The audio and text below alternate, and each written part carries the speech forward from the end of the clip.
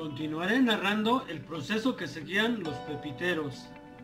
Lo primero era preparar el dorador, conseguir un tanque redondo como de 70 centímetros de largo por 40 centímetros de ancho. Por lo regular eran los depósitos del diésel de algún camión que lo, que lo haya cambiado o de un camión chatarra. Se modificaba de la manera siguiente. El hoyo del llenado del diésel era cancelado soldándole un tapón. En el centro del tanque se abrió una, una ventanita como de 15 centímetros por 15 centímetros. Se colocaba un pedazo de lámina como puerta corrediza que se abría o cerraba para sacar o meter la mercancía. En la parte delantera se soldaba un pedazo de varilla de acero de media pulgada en forma de seta, con la línea del medio recta y no inclinada. La parte de la varilla soldada en el tanque era más larga. Esta sería el maneral. Para poder maniobrar cómodamente, pues de ahí se tomaba con la mano y se giraba lentamente sobre el fuego. En la parte trasera se soldaba otra varilla del mismo diámetro, pero más larga, de 20 centímetros aproximadamente y recta. Todo este trabajo lo hacía un herrero. Bueno, pues este era el tostador Ahora describiré el horno. Este estaba formado por dos placas de concreto de aproximadamente 10 centímetros a 12 centímetros de grosor y una dimensión aproximadamente de 60 centímetros de largo o 40 centímetros de alto, o lo que pidiera el tostador. Estas placas casi siempre las traían del Noris, ese gran baldío donde tiraban de todo, sobre todo cascajo. La primer placa se enterraba de manera que no se moviera al estar girando el tostador. La segunda placa era colocada de igual manera enfrente de esta, dando la distancia que pidiera el tostador.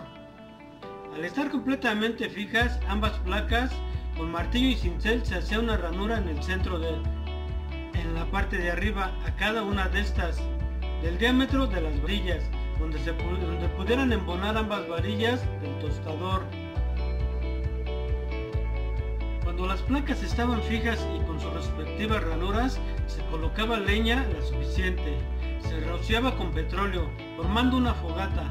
Cuando las llamas estaban uniformes, se montaba el tostador en las placas, ya con las pepitas dentro. Se empezaba a girar con una lentitud, abriendo la puertita del tostador con frecuencia, para checar que la mercancía no se quemara. En aproximadamente una hora de hacer este movimiento, el producto quedaba listo. Se tomaba el tostador por ambas varillas, dirigiendo este a un pedazo de tela que ya habían colocado a un lado, vaciando el producto en esta. Era todo un procedimiento, el llevado a cabo para disfrutar de estas botanitas, pues se requería de dos movimientos. El primero y más tardado era el pelado de la pepita, se pelaba una por una. Yo participé algunas veces en el pelado de la pepita, donde me daban una o dos monedas, no mucho, pero lo, suficiente para una golosina. Y la más fácil, que era la pepita con cáscara. A las dos se le rociaba agua y se le echaban unos puños de sal, dejarla secar unos minutos sobre una manta al sol, después meterlas al tostador, los churritos, eran granos de maíz que se revolvían en piloncillo derretido, garapiñándolos en una cazuela. Mmm, qué ricos. Recuerdo claramente que el muro de este cuarto siempre estaba lleno de hollín que producía la madera al quemarse. Esta familia la formaban siete personas, aparte los que ya tenían su vida de pareja, procedentes de León, Guanajuato. El cuarto siguiente, número 83, era de don Pedro, don Pedrito, otro señor que también se dedicaba al negocio de las pepitas.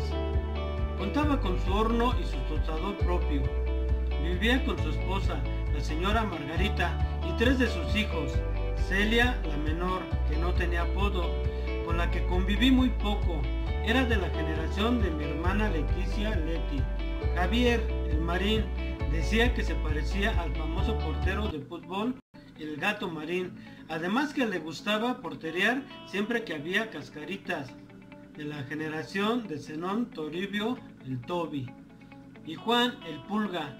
Así le pusieron porque gustaba de juntarse con los más grandes, siendo él el menor.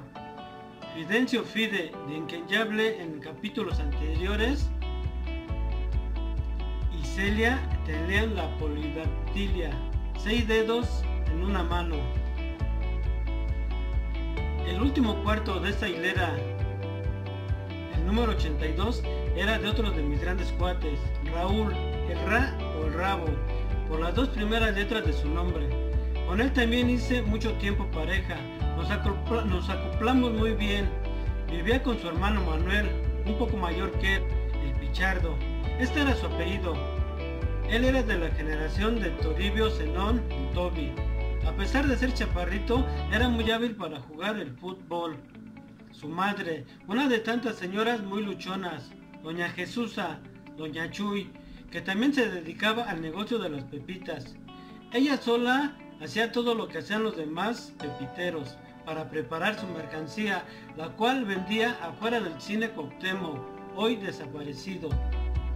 Esto lo hacía en las tardes, porque en las mañanas sacaba su negocito de garnachitas. Preparaba una deliciosa olla de atole para acompañar las deliciosas garnachitas, la que por lo regular vendía. Sus otros dos hermanos ya casados, María y Emilio el Zapata, de quien ya hablé un poco.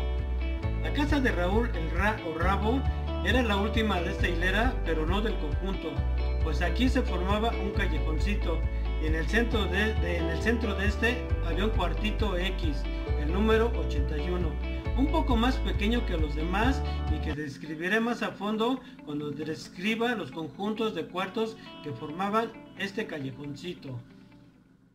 No olviden suscribirse, comentar y compartir este video.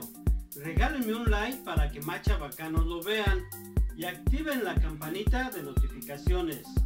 Si les ha gustado mi contenido, los invito a que vean mis anteriores videos. Los quiero mucho. Nos vemos en el próximo